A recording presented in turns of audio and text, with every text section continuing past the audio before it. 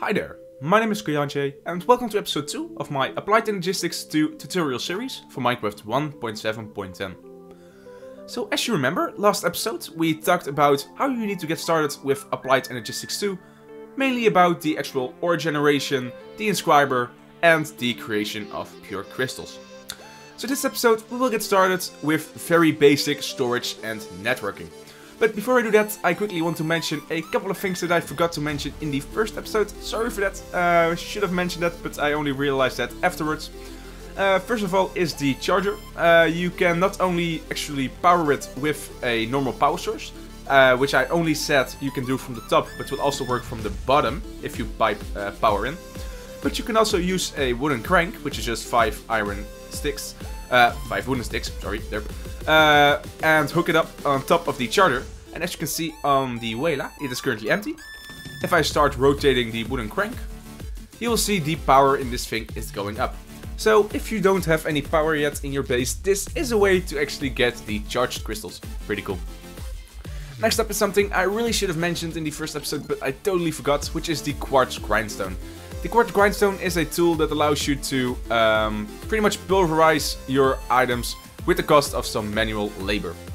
As you can see, using the Nona Farming mod, uh, looking at the recipes, you can see for most basic stuff, uh, you have a 90% or at least a 100% chance to actually get a regular um, output.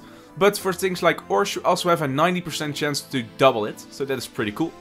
Uh, do keep in mind that uh, trying to spin the wooden crank while it is uh, or doesn't have a use in the quartz grindstone will eventually break it. That was right clicking by the way. So yes, keep that in mind. So this is a cool way to uh, get the uh, quartz dust early on. So next up is stage 5, which is the ME chest phase in my opinion. The ME chest phase is pretty much when you want to start uh, storing your items digitally using Applied Energistics, but you know, don't really want to have a massive network yet. Just the ability to save you from having a bunch of chests. That is where you make the ME chest, the recipe shown right now. The ME chest is a block that allows you to store items in it using the ME storage cells. The ME storage cells, uh, which are shown right now, have the ability to uh, actually store the items or blocks or whatever you want on the actual disk. The 1K ME storage cell is able to store 172 stacks of a single item. So do keep in mind that it has to be a single item. So for example, 172 stacks of dirt. Or 65 stacks in total of 63 different items. So that means that, for example, if I want to store, um, like, uh, let's say stone, dirt, cobblestone, oak wooden planks, and all that stuff, in total 63, in total, I'm only able to store 65 of them. So not 65 each, but in total. Do keep that in mind. Uh, the 4K one is able to store 508 stacks of the same item. The 16K is able to store 2000 stacks of the same item. And the 64K is able to store 8181 stacks of a single item. Just to uh, pretty much give you guys a representation, uh, what I usually do is go for the 16K one, as that is a bit, a little bit of the best of both worlds. Uh, both the ability to store a lot of items in general, but also have a lot of separate, uh, you know, different items. Um, this may sound a little bit confusing, but don't worry, I will show you guys in a second what I exactly mean by that. But just the 16k cell is able to store this amount of content for the single item if you were to use a ME chest instead of these normal chests. So yes, all these blocks instead of just one uh, disk. Pretty cool, huh? Exactly. So now let's quickly demonstrate. Um, this is already a little bit into the networking uh, phase. Um, as the ME chest also requires power, uh, which you can either do by powering it directly or uh, hooking up some ME glass cabling and an energy acceptor with some power uh, you're choosing. Um, for more advanced networks, you will be using things like energy acceptors, uh, but for now, I mean, you don't really need it. So what you do is if you click on the side of this, you will see a little slot uh, where you can insert the actual 16 uh, or um, any ME storage cell. Um, and you can see on the actual tooltip of the storage cell uh, the current uh, bytes used and the types used. Um, so that's what I uh, meant when you can only have 63 of uh, separate items in it. Um, pretty much meaning that either you can insert 63 different items or fill up the actual bytes used by the actual cell. Um, like I said, any site will open this uh, interface, uh, but actually using the top will open the interface of the ME chest. This is where all the magic happens. Pretty much what you do is, uh, if I quickly spawn in a couple of items, uh, let, that should be enough. Um, I can simply shift right click them into this thing, or your uh, normal place them, not really a big deal. And they will be stored onto the disk. As you can see, it currently has 680 bytes used and 5 different types as I'm using 5 different blocks in this situation. The cool thing is that instead of uh, just storing your items, you have a lot of different features. First of all, you're able to actually search in this thing. So for example, dirt, uh, stone, all that kind of cool stuff. Really useful. Next up is the buttons on the left. First button is the sort by name. Pretty much this will mean uh, without having to actually search the order, it will show the items or blocks stored in the ME chest. By default, it is uh, set on sort by item name, but you can also set it to sort by number of items, sorted by the mod if you have uh, multiple mods in the uh, chest, and inventory tweaks if you have that mod installed. There are probably also a couple of add-ons that hook into this, but I don't have those installed. Then of course you can switch to uh, the order which uh, the sort by will be used in. The uh, search box mode, which will pretty much mean that um, if you have not enough items open, and I uh, put it on the NEI synchronized auto mode, whatever I type in here will also automatically synchronize with the not enough items mod, which on standard uh, also does, apparently. And auto search does not. So yes, keep that in mind. And then uh, right here is the actual style of the ME chest, which can either be terminal style, small centered, uh, yeah, those two. Uh, what the terminal style and the small centered one exactly uh, compared to, I will show you guys in a minute. But for, you know, normally you probably would just want to have the uh, tall mode open so you can see as many items at, a, at the same time. Pretty cool. There are also a couple of indications on the ME chest, as you can see on the front. Pretty much meaning that if it doesn't have a disk, it will appear black. If it does have a disk but no power, it will be grey with one black spot in it. If it has power and enough space with a disk in it, it will appear green. This is pretty much the state you always want it to be in. If you fill it up with all 63 different types, it will be orange. And if you filled it up with the actual byte count, it will appear red. So that means that if it's green, you are pretty much good to go. If it's orange, you have to be careful what items you uh, want to store in it, as you can only store um, the amount of, uh, the types of items that you already have in the ME chest. And if it's red, it pretty much means that it's full and you're not able to store any more items in it until you take some more out or upgrade to a higher storage disk. Next up is stage 6, basic networks. This is already getting a little bit more complicated than we have currently discussed, as we will be talking about the mechanics of uh, ME cables and how pretty much the basic networks work. So I definitely hope you guys will be able to follow me uh, when I'm trying to explain this, but if you have any questions afterwards, uh, feel free to let me know down in the comment section. So, um, like I said, uh, what I've showed you right now is the standalone ME chests. But the cool thing is that you're able to hook them up together to form a network. What I've done right here is hooked up an energy acceptor and a creative energy cell. And instead of using ME uh, glass cables, I am using ME smart cables. Um, they are a little bit more expensive than uh, ME glass cables, but the cool thing that uh, these cables have is that you're able to see the amount of channels that you have currently used in your network. Channels pretty much mean the amount of devices that are connected. So uh, that is, for example, what we have shown right now, um, separate ME chests, but also a, a ME terminal, which I will show you what it does in a minute. Through these basic ME smart cables or glass cables or any basic ME cables, uh, we will get into the more advanced cables later on, which are dense cables, but no need to worry about that yet. These cables are only able to transfer 8 separate channels at a time. So that means you're able only able to hook up 8 different machines or uh, devices, I should say, on the same line. So pretty much what I'm able to do now is power all these ME chests through this one energy acceptor, all through these ME smart cables. Now, that is not even the coolest part. What I've done is I put a disk into each one of these ME chests, and in each of these I put a different block. So in the first I put some grass, second some dirt, uh, some cobble, uh, some stone and some uh, sandstone, some oak planks and some oak. Now the cool thing is, is when you actually hook these up in a uh, row like this, um, what you can do is hook up an ME terminal to it and actually see the contents of all these storage devices in your current network. So that means I'm able to access all of the ME chests that are currently connected to the same network line. This would also mean that if I would uh, take, for example, half a stack of stone out, it will be taken out of the ME chest that is actually storing stone.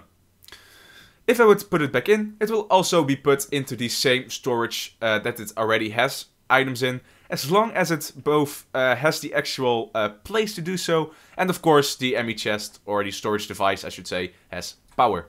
Pretty cool. The thing uh, that gets a little bit more annoying is when you do something like this, and you take out all the items, you will see it's empty. But if I put it back in, there is no guarantee it will be put back into the same ME chest as this thing will just find a random location in its network to actually put it down. So in this case, it put it in this ME chest. Even though this does work, it is quite a horrible, inefficient way to actually access this. As you need to craft yourself uh, 7 ME chests, which are not that cheap. And, well, they take up a lot of channels, which in highly advanced networks is something you want to, uh, you know, just be a little bit aware of, of how many uh, channels you are using at the time. That is where the ME drive comes in, recipe shown right now.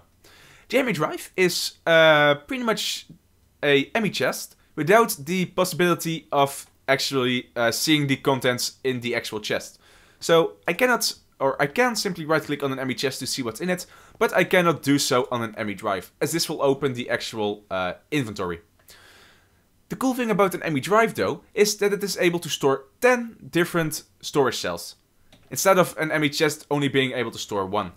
That also means that even though uh, you're able to store 10 uh, storage drives, this thing only counts as one uh, actual device hooked up, which will only use one channel. Uh, the second channel being used in this network is of course the ME terminal. So uh, what I can do is if I spawn in some more items, I can simply shift right click them or just put them in normal into this network and they will be stored into the ME drives. And as you can see, hover over them, they currently uh, it all went into the first drive, which currently has this amount stored. Then there's also this little priority button, which works for both uh, situations. This is the priority. The priority pretty much means that um, if you set it up to be a higher priority, it will try to put the items in that location first. So um, if I would, for example, uh, put this priority to a 1 and take out the uh, stone and try to put it back into using the ME terminal, in theory it should have put it into this ME chest. Exactly. Uh, pretty much this will also work with, for example, uh, well, dirt or any items uh, you will be able to store in this network. There's pretty much no limit to what you can store. So the higher the number, the higher the priority, which means it have will try to put it in the highest priority first and then into the lower ones. Pretty cool. A little bit of a side note, um, these ME chests also work as a conductor of these uh, cables, which will pretty much mean that you can either uh, put some cables directly in between ME chests if you decide to use that, or just skip the entire cable part and put the actual ME chests next to each other. Do keep in mind that you're still only able to hook up 7 ME chests next to each other, uh, even if you are not using the ME cables. Just thought I'd mention it. And of course, there's always those couple of people that are wondering, but what happens if I try to connect 9 different devices to the same network? So for example, I try to add another terminal to this same line, or uh, another chest. Well, pretty basic explanation, what happens to a computer when you overload it? The entire network goes down. The terminal will also say device missing channel on the WAILA tooltip and the entire network is no longer able to interact with each other. Do keep in mind, of course, you're still able to actually uh, check the contents of the ME chests as power is still being sent through those uh, cables, but not the actual network, uh, yeah, networking details. So if I were to break this chest, you will see the entire uh, line goes back into uh, power mode. Um, and the indicators on the ME Smart cable pretty much show you how many uh, devices you have used.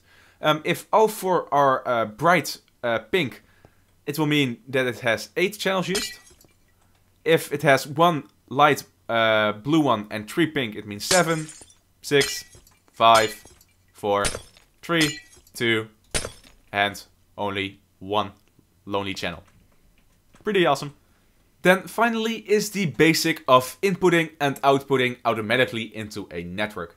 Of course, um, if you start into the part of ME Chest, it's cool to be able to store your items digitally.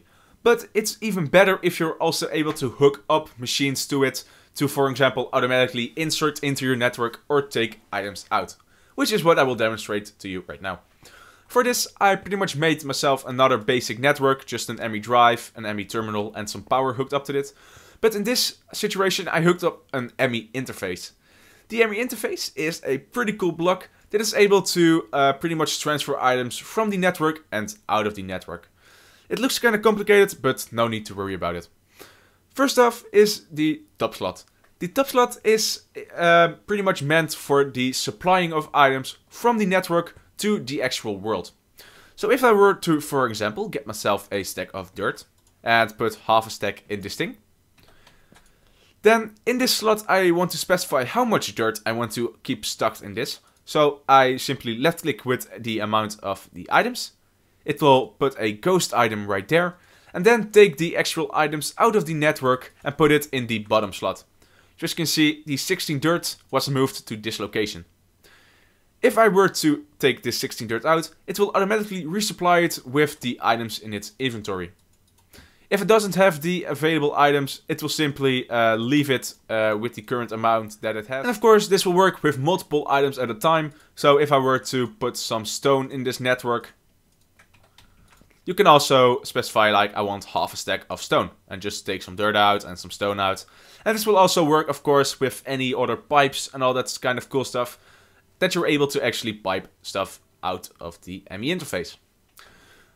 The ME interface uh, will also work as a way to actually import into the network, as it will not only supply uh, the amount that you specified, but any excess amount will be put back into the network as long as it has the space to do so. So if I were to put the extra half a stack that I got into the same slot, you will see it got taken out and pumped back into the network. So for example, right now the network is empty.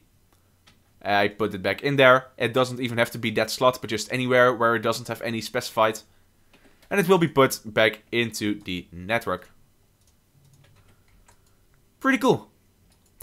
Uh, like I said, uh, you're also able to pipe items in. So for example, uh, using the Thermal Dynamics mod, using some servos and item ducts, you're able to actually pump the items into the ME interface and the ME interface will put it into the storage drive, which you're again able to read from the ME terminal. Then there are a couple of more slots on this ME interface. The bottom one saying patterns will be used when we start talking about autocrafting, which will be in a couple of episodes, so don't worry about that. The right slot right here is for uh, upgrades, and priority is, like I already showed you, the priority of actually putting items into the ME interface um, instead of actually putting it into a drive, for example. Pretty cool. Then there are a couple of uh, modes right here. Uh, blocking mode, and that either means that it will ignore the contents of the target inventory, or it won't push crafting items if the inventory contains any items.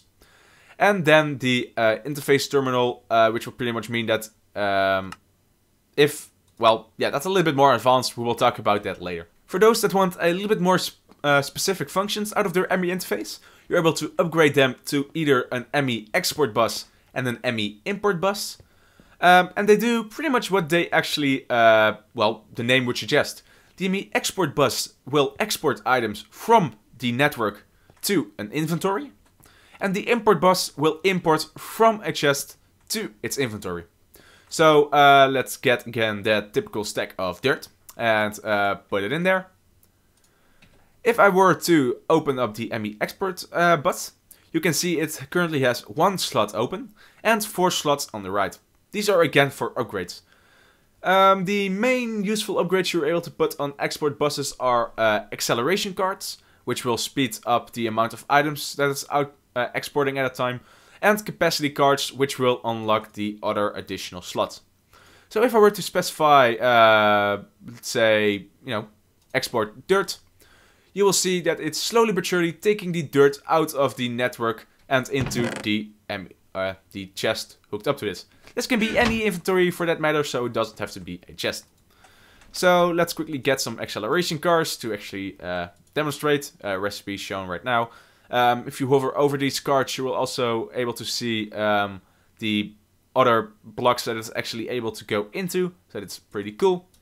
But if I would, for example, put in one, you will see that it starts taking out items 8 at a time and in a faster rate too. So that is pretty cool.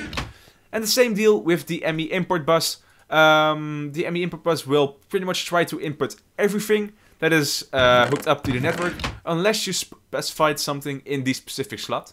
So if I were to uh, put some dirt in this chest, you will see it's automatically being pulled into the uh, network. But if I were, for example, to say I only want to import uh, creative energy cells, it will simply stop importing as it is no longer able to find any in this inventory.